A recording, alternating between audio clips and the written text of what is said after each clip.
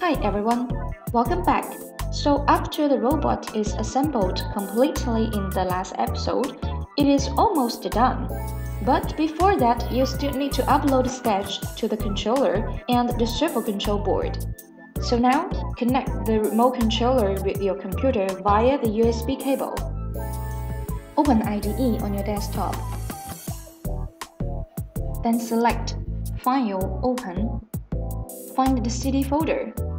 Click through the directory called 3-point crawl remoter. Then click open the file remoter.ino. Check whether the board and the serial port is selected. Then click the tick button to compile the code. Then click the right arrow button. And the sketch is uploaded successfully. Then remove the USB cable. Switch on the remote controller. Keep it on.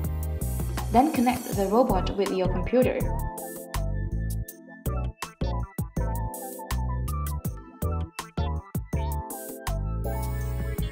Open Arduino IDE on your desktop. Click File Open.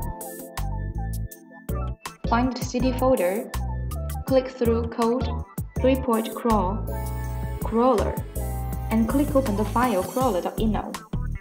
Also check whether the board and the serial port is selected. Then go to line 32 to 34. Add a double slash to the beginning of line 34, so the command will become comment. Then click the tick button. After compiling, click the right arrow button then the sketch is uploaded. Then save the change.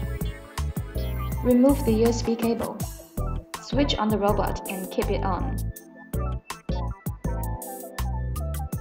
Then use the remote controller to control the robot. You may control it to move forward, backward, turn right, and right, and forward as you want. As we can see in our trailer and the introduction video, the robot can not only move in four directions but also dance. So now we need to upload another sketch. Switch it off, connect it to a computer, open IDE, click File open, find CD, and click through Code, 4-point dance, dance, and click open the file dance.ino. Check whether the board and the serial port is selected. Then click Tick button. After compiling, click the right arrow button. Then the sketch is uploaded successfully.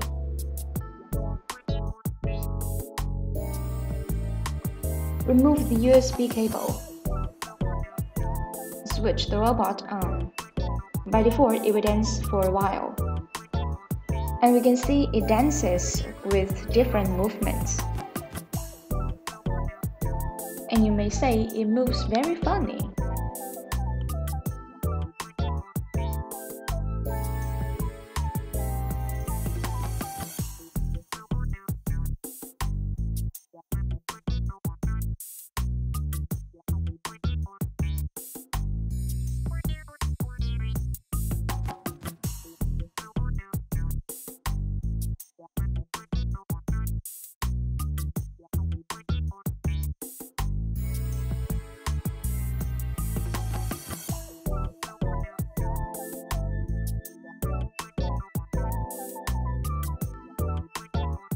After a while, when the robot stops, switch on the remote controller. Then you may control its dances, like make it dance forward, backward, to the left, to the right, up and down, etc. So that's all for our RobotKit assembly tutorials. Hope you may have fun in it. If you have any suggestions or ideas, please send emails to support at sunfounders.com or leave us messages on our official forum. We will reply as soon as possible.